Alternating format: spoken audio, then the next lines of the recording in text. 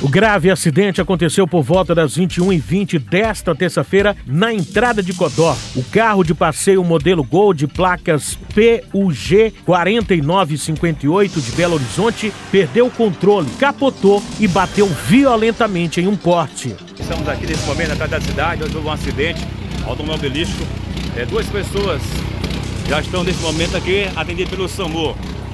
E os bombeiros da cidade aqui de Codó é, está trabalhando para tirar também outra pessoa que está dentro do carro. O carro capotou e está aqui, ó, nesse momento, trabalho aí dos bombeiros da cidade. No veículo estavam três pessoas. Os dois ocupantes da frente foram identificados apenas como Alexandre e Deidiane, que, segundo a polícia, não usavam cinto de segurança e ficaram feridos. Um passageiro que estava no banco de trás não resistiu e morreu no local. Este ainda não teve o nome divulgado. Os feridos ficaram presos dentro do carro e só foram resgatados com a chegada do Corpo de Bombeiros. A nossa equipe de serviço, composta pelo Tenente Ribeiro, é, soldado J. Nunes, soldado Edmar e duas viaturas, a, a viatura Auto Resgate e também o caminhão de incêndio. Estávamos aqui com equipamento de descarceração.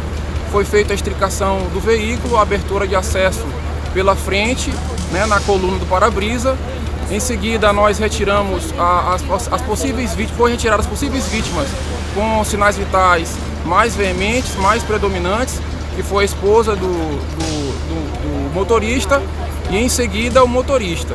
E foi verificado também que o passageiro, é, parente também deles, estava já em possíveis sinais de, de óbito, né? foi também retirado pela parte de trás do veículo, facilitando assim que todos os três fossem retirados é, do mais rápido possível para que a equipe do SAMU pudesse fazer os primeiros atendimentos, o acesso intravenoso e, se possível, a reposição é, é sanguínea com ringue lactado.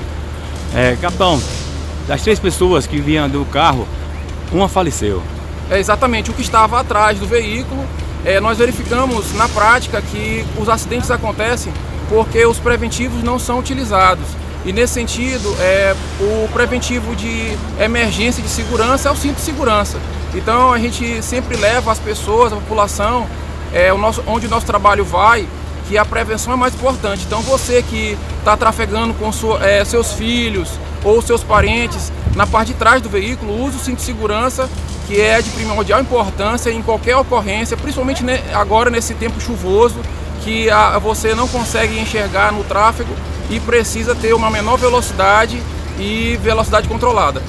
Entre as pessoas que, vi, que ficaram, ficaram feridas, as duas pessoas que foram atendidas pelo SAMU, é, os bombeiros aí, eles detectaram aí que o estado de embriaguez, é, o seu sintoma alcoólico é, em alguma pessoa.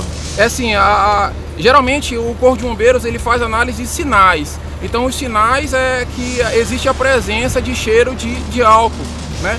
Mas quem pode atestar é só o exame de sangue da alcoolemia, que é o exame que o hospital vai fazer é, no condutor do veículo. Os outros feridos foram socorridos pelo SAMU, que foi acionado até o local do acidente. O casal foi retirado do veículo e foi levado para o hospital da cidade.